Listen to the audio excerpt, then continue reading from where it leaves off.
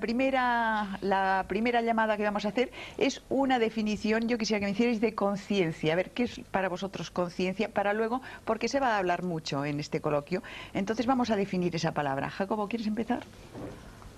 No se puede definir, o sea, está más allá de definiciones. Si se pudiera definir estaría limitada o sería algo menos que la definición. Ten en cuenta, perdóname que te interrumpa, que aquí nosotros en Europa tenemos, no sé, muy marcada, no sé si vosotros también, eh, como definición de conciencia algo referente a la moral. Por esto quería que lo aclarases. ¿Comprendes? que, si que, hicieras esa, esa distinción. O sea, no, eh, el término conciencia tiene una acepción, sí, como ética, eh, volverse consciente de ciertas normas o las normas, pero realmente a eso no creo que nos refiramos cuando hablamos de conciencia y es en, ese otro nivel que no se puede definir.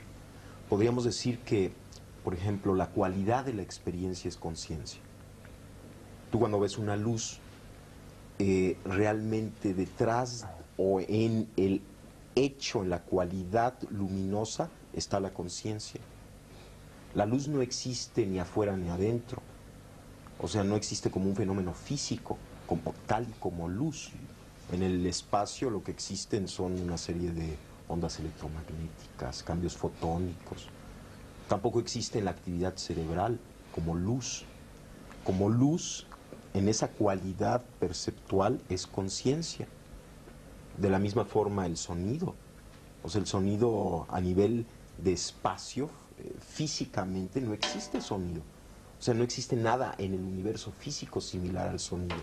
Lo que llamamos sonido es una cualidad de la conciencia, tal y como la experimentamos. O sea, si tú analizas a nivel físico lo que, llama, lo que percibimos como sonido, pues es un conjunto de cambios vibracionales de moléculas de aire, pero no hay sonido ahí, como tampoco existe sonido a nivel físico, fisiológico. O sea, si tú penetras al cerebro y tratas de encontrar el sonido ahí, tampoco existe. Entonces es también una cualidad de la conciencia. De tal forma que la conciencia podría, en este nivel, no de normas éticas, conceptualizarse como lo que está por detrás de cualquier acto perceptual, lo que sostiene la cualidad misma de la experiencia. Esto podría ser. Y existen muchos niveles de la conciencia. He mencionado dos. Digamos, la cualidad perceptual visual, la cualidad sonora, son dos niveles de conciencia, pero existen muchísimos otros niveles de conciencia y todos tienen en común el pertenecer a ese algo que está por debajo de todo, pero no se puede definir.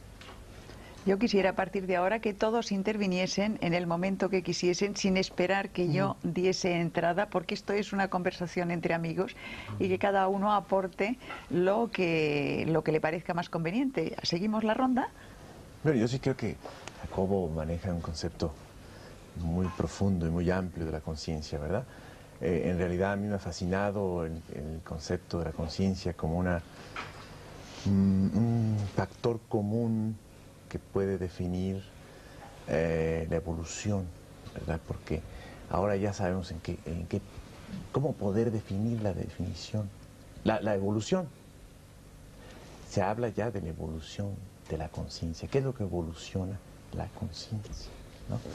Claro, en los términos más simples, pues la conciencia es, es una forma de percibir la realidad.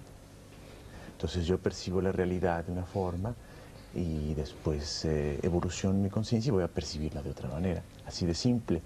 Pero ese es un aspecto de la conciencia, la conciencia abarca todo, ¿no? Efectivamente. Es, algo muy amplio. Pero sí hay, eh, para definir esa, eh, esa evolución, se hablan de grados, grados de conciencia. Van incrementándose los grados de,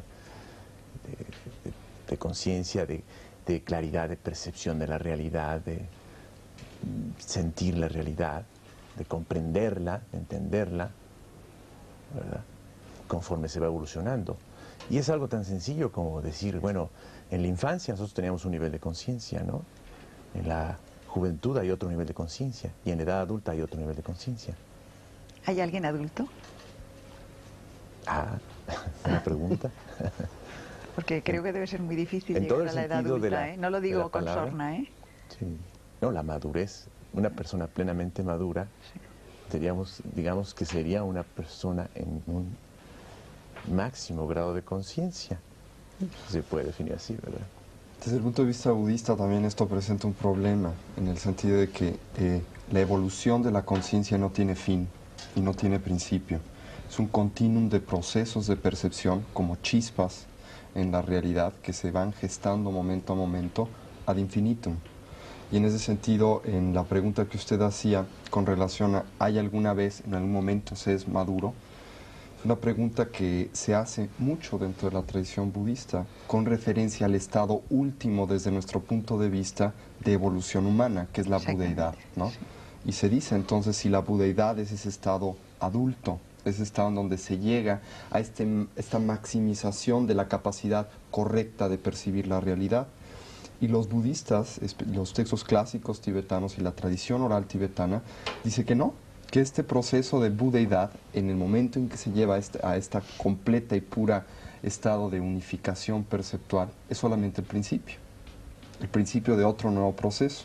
Y cuando se termine ese nuevo proceso, también ese estado de finiquitación de ese proceso, ¿no? Es el principio de otro, ad infinitum.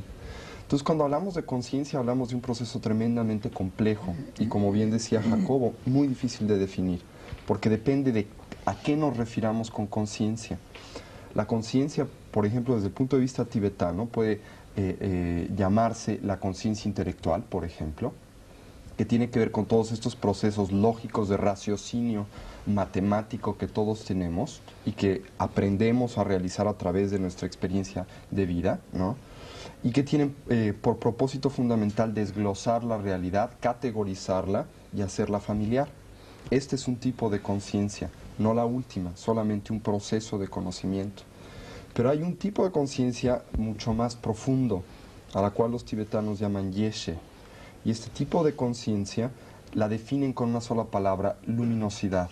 Y no es que sea una bola de, humo luminosa que tengamos en algún lugar del cerebro y brille, sino es simplemente la capacidad de iluminar, en otras palabras, de hacer presente y de hacer parte de, un poco lo que definíamos como simplemente el, el, conocimiento en sí, el darse cuenta. Y de hecho conciencia se puede traducir como este darse cuenta. Pero aquí volvemos a otro problema. ¿Quién se da cuenta?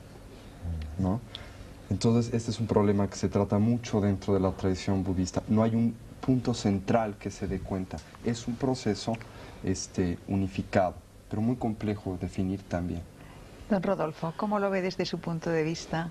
Desde nuestro punto de vista chamánico, sin niveles académicos ni nada, lo vemos de la forma más sencilla. El despertar de la conciencia es encontrarse a sí mismo y dentro de ese encuentro en sí mismo encontrar la luminosidad en, el amor y en compartirlo hacia los demás por medio de la manifestación del espíritu a través de el bien por el bien mismo.